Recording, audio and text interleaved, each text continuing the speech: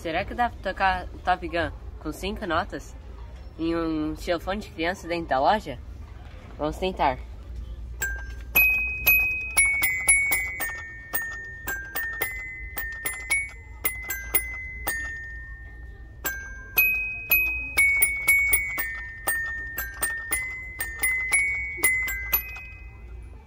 Acho que dá.